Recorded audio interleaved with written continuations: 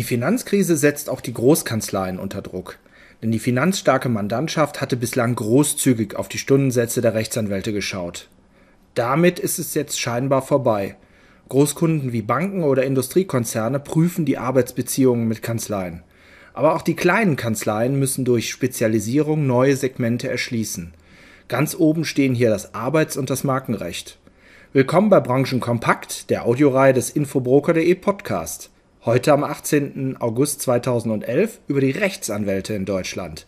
Am Mikrofon für Sie Michael Klems. Der Infobroker Podcast.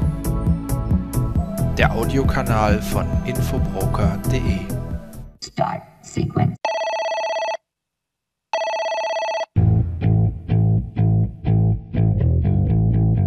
Sicherlich kennen Sie den Film Die Firma mit Tom Cruise aus dem Jahr 1993. Ein Junganwalt startet in einer Kanzlei und kloppt Stunden ohne Ende. Gerade diese Abrechnungen sind später im Film der Dreh- und Angelpunkt. Die deutschen Großkanzleien stehen aktuell vor der Herausforderung, dass viele Großmandate auf dem Prüfstand stehen. Zum Jahreswechsel hatte die Deutsche Bank alle Rechtsstreitigkeiten ausgelagert. Anwälte als Dienstleister außen, preiswerter und effizienter als die interne Rechtsabteilung? Nicht nur das, die Unternehmen prüfen die Aufwendungen genau und verstärken das Controlling. Bindungen zu Kanzleien sind keine Partnerschaft mehr auf Lebenszeit.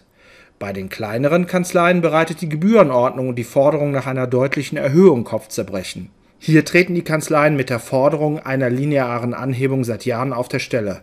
Auch neue Geschäftsfelder wie Internetstreitfälle und Social Media helfen da wenig.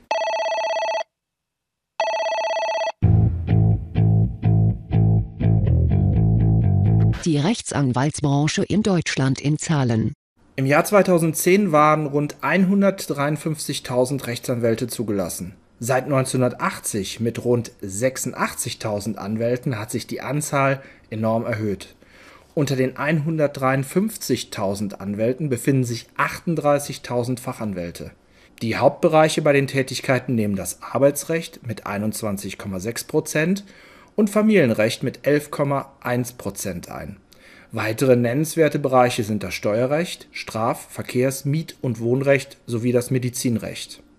Zu den Top-Kanzleien in 2009 gehörten Freshfield Bruckhaus Deringer, Hengeler Müller, CMS Hush Siegel, Clifford Chance und Linklaters.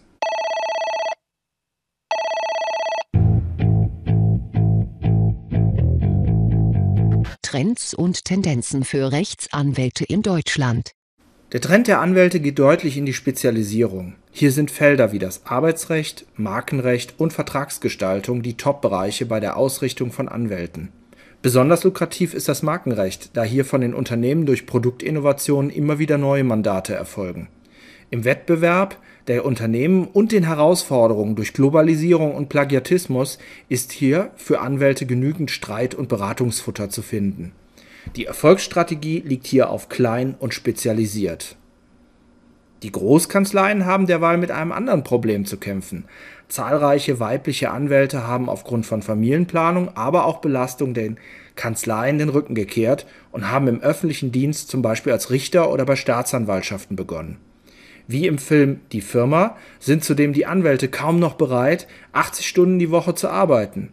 Einzelne Großkanzleien beginnen hier mit sozialen Angeboten wie Unternehmenskindergärten Kompensationen zu schaffen.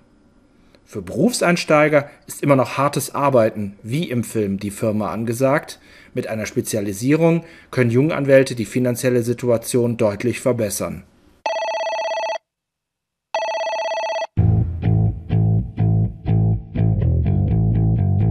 Sie hörten Kostendruck zwingt Anwälte zum Umdenken in der Audioreihe Branchenkompakt.